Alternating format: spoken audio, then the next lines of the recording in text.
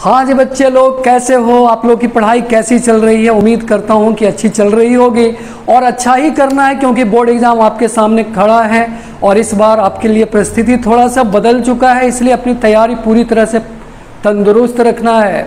और आपकी तैयारी को पूरा करने के लिए आज हम फिर आपके सामने हाजिर हैं। आज जो हम लोग बात करेंगे वो आपका पाइथागोरस थ्योरम की बात करने वाले हैं बच्चों। आप इसको ध्यान से देखिए देखिए, कोई भी थ्योरम बहुत ज़्यादा डिफ़िकल्ट नहीं होता है, जब तक कि आप समझ जाइए। अगर आपको उसमें किसी भी तरह की प्रॉब्लम रहती है डाउट रहती है तो आपके लिए बहुत ज़्यादा परेशानी बन जाता है। तो इस थ्योरम को ध्यान से समझिएगा। आज हम लोग पाइथागोरस थ्योरम की बात करने वाले हैं। आप लोग पहले पढ़ चुके होंगे, पाइथागोरस एक ग्रीक मैथमेटिशियन थे, जिन्होंने हम लोगों को एक रिलेशन दिया था।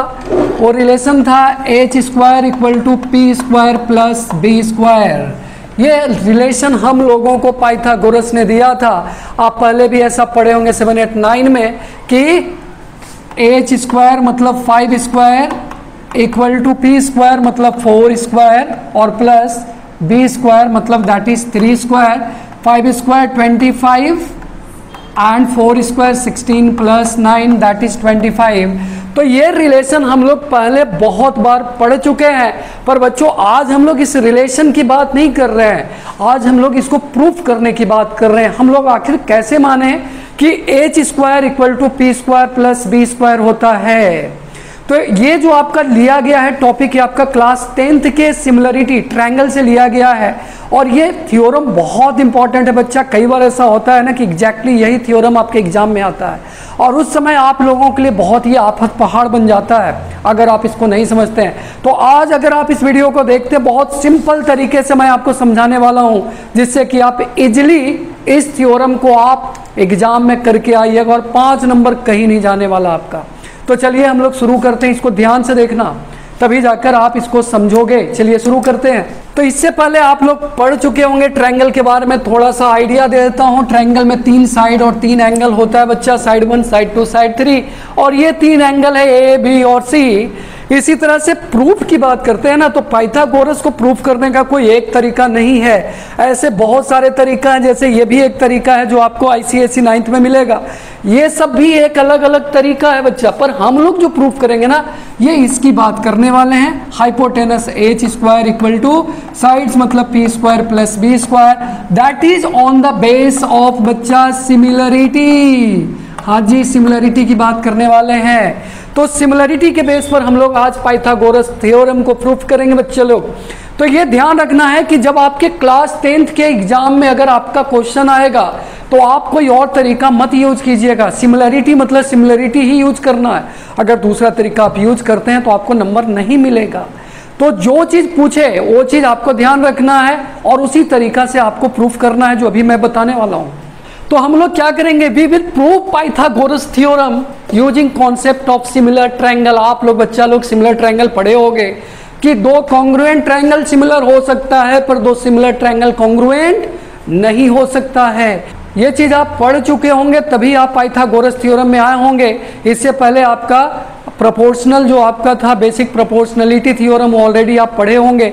तभी आप यहाँ पर आए और उन सब में क्या था सिमिलरिटी था कि अगर किसी ट्रायंगल में बहुत सारा आइडिया था, बहुत सारा बेस था, जिसके बेस पर दो ट्रायंगल को हम लोग सिमिलर मानते थे तो ये सब आपका ट्रायंगल एक दूसरे से सिमिलर हो सकता है। बेशक इन सब का साइड अलग अलग हो। तो सबसे पहले आपके बुक में क्या दिया रहेगा या आपके एग्ज़ाम में क्या दिया रहेगा? बच्चा लोग, एक ट्रायंगल होगा that is right angle triangle ये मेरा एंगल बी है that is right angle triangle on B side one side two and that is hypotenuse hypotenuse तो आप लोग पढ़े होंगे कि 90 डिग्री के सामने वाला जो आपका होता है साइड उसको हाइपोटेनस कहते हैं। और ये मेरा क्या हो गया? ए सी इज़ हाइपोटेनस तो हम लोगों को प्रूफ क्या करना है?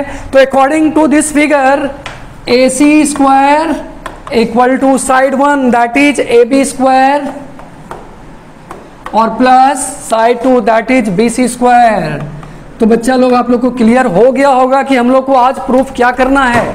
हाँ जी तो हम लोगों को जो प्रूफ करना है, इसके लिए कुछ बेसिक चीज़ ज़रूरी होता है। क्या क्या दिया हुआ है और क्या हम लोगों को कंस्ट्रक्ट करना है, वो बच्चा लोग आपको लिखना होगा। तो हम लोग का क्या है? तो हम लोगों का जो कंस्ट्रक्शन है, वो हम लोग को करना क्या होगा? तो ये आपका कंस्ट्रक्शन हो गया। कंस्ट्रक्शन में आपको लिखना है draw a perpendicular line from right angle to its opposite side यहाँ से हम लोग को बी डी एक परपेंडिकुलर देना है ऑन एसी और जैसे ही हम लोग परपेंडिकुलर देंगे परपेंडिकुलर मतलब 90 डिग्री ये भी आपका 90 डिग्री और ये भी 90 डिग्री यहाँ पर हम लोग का दो ट्रायंगल बन रहा है। एक ट्रायंगल ए बी डी जो यहाँ पर हम लिख चुके हैं कि ये आपका दो ट्रायंगल बन रहा है। अगर ए बी सी की बात करें तो इसमें दो ट्रायंगल कौन कौन सा बन रहा है? तो एक ट्रायंगल ए बी डी और दूसरा ट्रायंगल बी डी सी अब यहाँ पर देखिए, हम लोग को करना क्या है? देखो बेसिक कॉन्सेप्ट क्या लगाना है? यहाँ पर पहले एक बड़ा ट्रायंगल था that is A B C A B C बड़ा ट्रायंगल था। अब जैसे ही हम लोग परपेंडिकुलर दिए ऑटोमेटिकली हमारा ये दो राइट एंगल ट्रायंगल में चेंज हो गया। एक ट्रायंगल आपका ए बी डी और दूसरा बी डी सी अब हम लोगों को करना क्या है? हम लोगों को छोटा वाला जो ट्रायंगल है, इसको भी सिमिलर कर देना है बड़ा वाला के साथ। और जो इसमें जो बड़ा वाला ट्रायंगल है बी डी सी इसको भी ए बी सी के साथ हम लोग को सिमिलर कर देना है। तो हम लोग इस तरह से लेते हैं।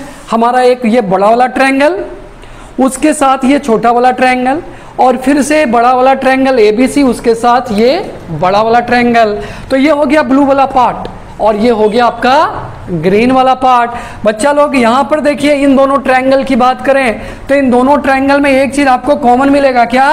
तो एंगल ए एंगल ए देख लीजिए यहाँ पर, बड़ा ट्रायंगल में दोनों एंगल आपका कॉमन है एंगल ए और एक और चीज़ कॉमन है that is angle B and angle D both are 90 degree similarly इसमें भी आपको वही चीज़ मिलेगा। Angle B 90 degree and angle D that is 90 degree and angle C is common in both of the figure तो ये चीज़ हम लोग को मिल चुका है। एंगल ए इज़ कॉमन और angle B equal to angle D equal to 90 degree angle C is common in this figures and angle B equal to angle D equal to 90 degree अब याद कीजिए कि हम लोग क्या पढ़ते थे? सिमिलरिटी का क्रिटेरिया था। ट्रिपल एंगल या फिर एंगल एंगल अगर है तो that is a similar triangle हम लोग अभी इसकी बात नहीं करेंगे, हम लोग सिर्फ़ और सिर्फ़ किसकी बात करेंगे? एंगल एंगल का। अगर किसी दो ट्रैंगल का दो एंगल अगर सिमिलर है, इसका मतलब है कि दोनों ट्रायंगल सिमिलर होगा। और इस हिसाब से देखें तो ये दोनों ट्रैंगल और इसके साथ एक और जो ट्रायंगल है बोथ आर सिमिलर ट्रायंगल तो ये हम लोगों को मिल चुका है, ये ट्रायंगल ये ट्रायंगल सिमिलर ये ट्रायंगल ये ट्रायंगल सिमिलर यहाँ पर बच्चा लोग एक चीज़ क्लियर होना चाहिए, किसका ओरिएंटेशन हम लोग का क्लियर होना चाहिए। ये आपका ए सी हाइपोटेनस है और यहाँ पर ए बी हाइपोटेनस है। यहाँ एंगल बी आपका 90 डिग्री इस वाले फिगर में एंगल डी आपका 90 डिग्री इसका मतलब है कि हम लोगों का जो रेशियो बनाना है अकॉर्डिंग टू ओरिएंटेशन अलग अलग डिफरेंट ओरिएंटेशन लेंगे तो आपका सिमिलरिटी प्रूफ नहीं होगा। इसका मतलब है कि एंगल बी और एंगल डी आपका कॉमन होना चाहिए।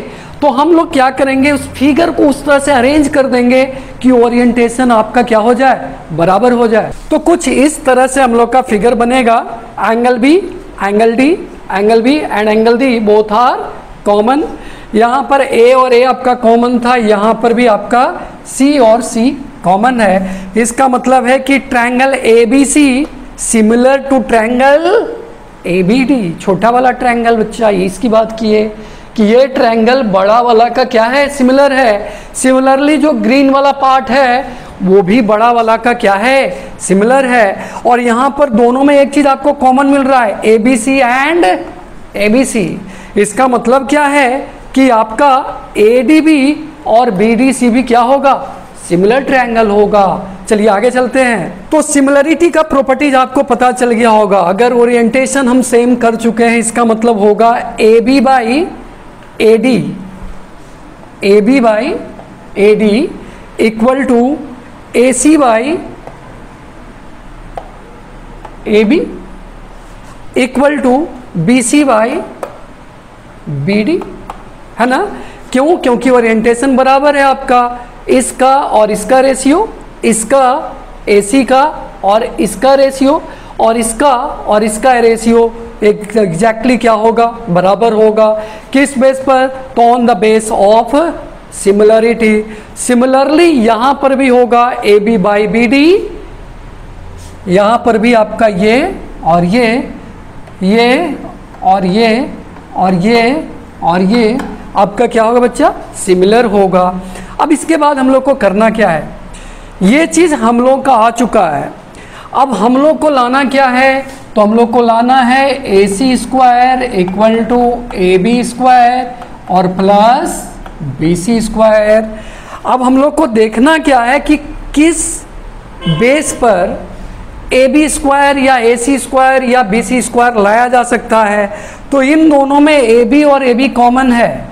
इसका मतलब है कि इन दोनों को क्रॉस मल्टीप्लाई करें तो हमारा ए बी स्क्वायर आ सकता है। इन दोनों में बी सी और बी सी कॉमन है, इसका मतलब क्रॉस मल्टीप्लाई अगर हम करें तो हमारा बी सी स्क्वायर भी आता है। तो फिर देर किस बात की? हम लोगों को क्रॉस मल्टीप्लाई कर देना है। क्रॉस मल्टीप्लाई करने के बाद हम लोग का क्या गया?